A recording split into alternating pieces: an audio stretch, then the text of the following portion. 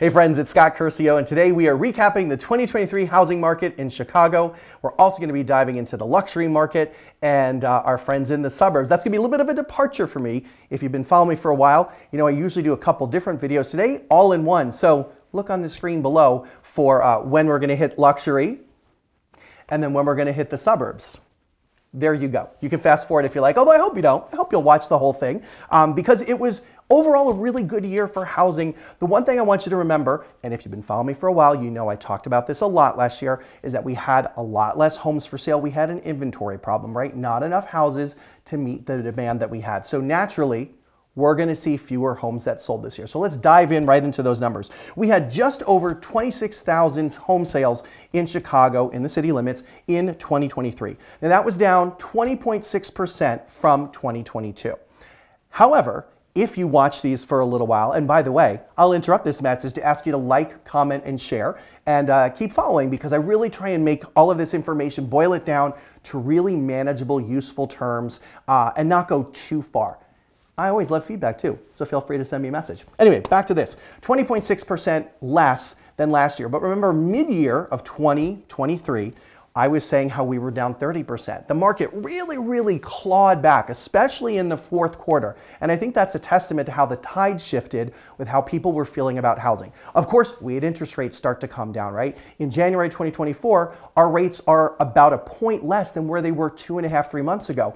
That really led to a lot more optimism, a lot more hope. Starting off the year in 24, people are excited. They seem to be focused on, I'm going to make a move, not as anxious or nervous or scared as they were at the start of 2023. So ultimately, fast forward a year when I'm recapping this next January in 2025 and telling you about this year, I think we're going to see our numbers get a little bit better. Time will tell, and I hope you follow along to see if I'm right. Anyway, uh, we the sales last year were the lowest number of sales we've seen in the city uh, in over a decade since 2012. Let's break it down by category. Condos and townhomes, are up first. We had just under 14,000 of those to sell this year. Average market time of 66 days, which is a little bit better than last year. Um, and our average sales price actually went up, not by much, little over a percentage point, but it was the third straight year that we saw that number go up. It was the highest average sales price we've ever had at just over 446,000. And it was the sixth straight year that we saw that over 400. So overall, really good year. If we look back at 10 years of condos and townhome performance in the city, we gained just under 34% in value. Um, our units were down uh, last year. 23%. Um, and it was also the lowest number of sales that we've seen since uh, 2012. By the way, always got my handy clipboard, so every time you see me looking down, that's what I'm looking at. Because I can't recall this all, right? I gotta make sure I got it right for you guys. So um, lastly with that, if you followed me for a while, you know that I always talk about that month supply of inventory. And for condos, we ended the year at 2.7 months, very healthily a uh, seller's market. Remember, if it's under five months supply, uh, every as it gets lower and lower, it's better and better for sellers. And then as you get north of five, it becomes more of a buyer's market. And as those numbers get higher, it's better for buyers. So there's our friends with the condos. Let's turn it to the single family homes now. We're just gonna throw that to the side there. Uh, we had almost 9,000 single family homes sell last year in an average market time of 68 days. Uh, and our average sales price um, was down a little over 6%. So we lost a little bit there, uh, and we saw our units down uh, just over 16%. It was the lowest number of sales for single family since 2011 deep in the throes of the recession. Uh, and we ended the year with a month supply at 3.1. Not as good as last year. Last year we were 2.8. The year before that we were 2.4. So things cooling a little bit market wide on, uh, on single family homes. We have seen though a gain of 52% in the last decade in those values. So still not performing poorly.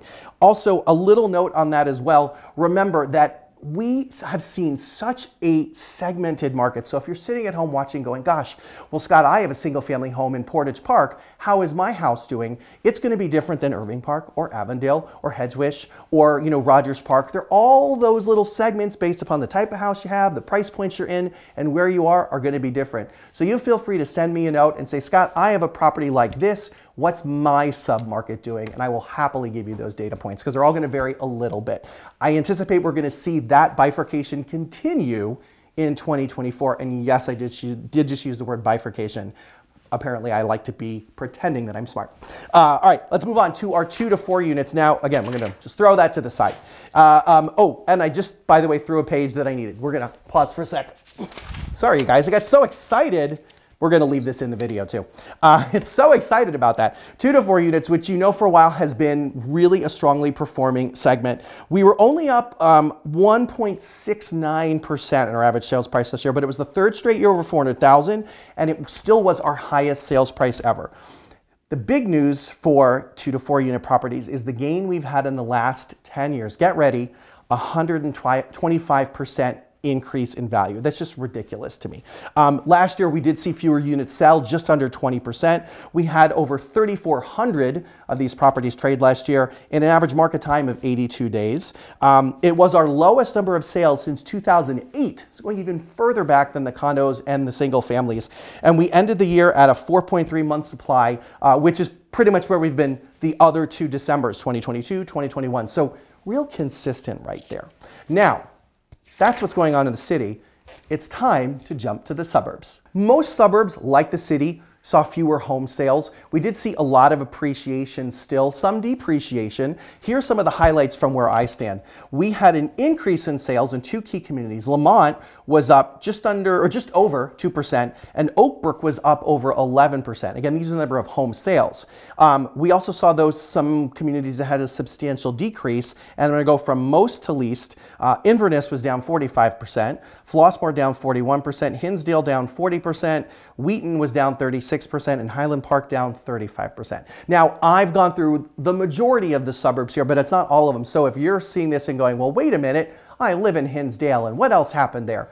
You just shoot me a note, like I've asked you guys to do before in this video, and I'll send you some details there. This is not doom and gloom. This is going to be up and down, but some things of note. We also saw an increase in the average sales price in three key communities. Lemont was up 42%.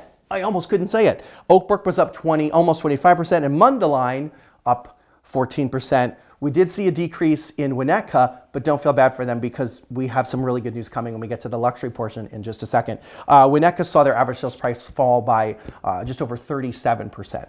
Um, again, we're talking singular year data points here. Does that mean that, oh my God, everything's falling to crap in some of the places that had the decreases? No in a lot of ways, some of these people may have had, uh, some of these communities had fewer sales because people moved into them in 2020 and 2021 and 2022. So a lot of their runway might have already been used up, so to speak. So that's our little quick trip to the suburbs. Now to the luxury market. Of course, that's homes priced at a million or higher. We're gonna give you guys some real quick stats to start. First of all, and this is, by the way, these numbers to start are in the city. So our million plus single families, we had 739 of those to trade in calendar 2023.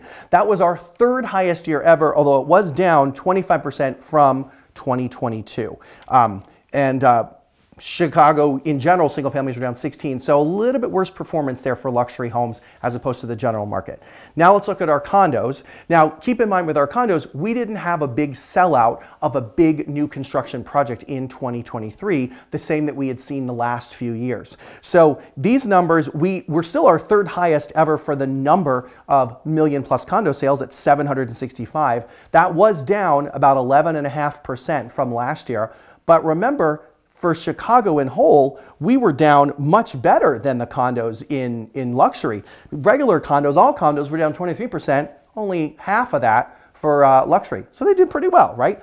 Now let's talk about our favorite topic, the most expensive home sales. So Chicago was six of the top 10 sales in 2023, but they weren't the two highest, or the, I should say the highest. Highest belonged to two single family homes in Winnetka. You had 691 Sheridan at 12 and a half million, and then 445 Sheridan at 12 and uh, 12 million uh, 250,000. Both massive lakefront estates with private beaches, uh, real gorgeous properties. I could sit here and swoon on them all day long, but I think I'll bring that on in another video talking about some of those uh, some of those units. What was real noticeable this year is Naperville found its way onto that top 10 list. There was a house on Van Buren uh, that was any, unlike anything we've ever seen. The highest sales price ever there uh, at just over $8 million. Uh, and so they got onto the list for the first time. Lake Forest was the other suburban community to have one of the top 10 sales in the, uh, in the area last year, and that was 1421 Lake. Um, their seventh highest sale that they've ever seen in Lake Forest. I'm going to keep dropping my pages like I've done today. It feels really fun. I feel like a crazy professor, you guys. Uh, our most expensive single family in Chicago was 1956 Orchard. That was 10,650,000. This was set on three city lots, impeccable grounds, an 11,000 square foot uh, uh, house, um, the seventh highest priced home sale that we've ever seen publicly listed in the MLS in Chicago. Our most expensive condo downtown was, and I always love this, generally when we see these really big numbers on condos, it's raw space. It happens a lot. It happened again this year. It was the penthouse at 800 North Michigan, um, 8,000 square foot of raw space with over 500 square foot of outdoor space, $11.2 million. Uh, that also came with three parking spaces. And um, I'm going to do a video, I think, in the near term that shows kind of all the different categories. If you've uh, ever gotten my luxury home market report every year, I break it down by the top 10 uh, condo sales in the city, the top 10 um, single family sales in the city, and then the top 10 suburban sales too. So you guys see a nice wide mix of everything out there. So if you like a copy of that report, you know what to do. You can like, you can comment, you can share, you can send me a direct message, you can send a carrier pigeon if that's even still a thing. You can text me, all the things, and I'll make sure that you get you a copy of that report. Um, so obviously down a little bit across the board. I'm gonna wrap up now for you guys down a little bit in our numbers, down in some of our pricings, but overall not a bad year. I think there was a lot of doom and gloom in the housing reporting in the media last year. And there were plenty of people that said, you know what, I still have to move or I still want to move, and they did that. I think a year from now, when we've had uh, time to reflect on 2024, the year that we've now started, I think we're going to see uh, housing on a little bit more solid footing. The real question, of course, will be, will we see recession this year? And everybody is, is trying to pontificate on that and figure it out.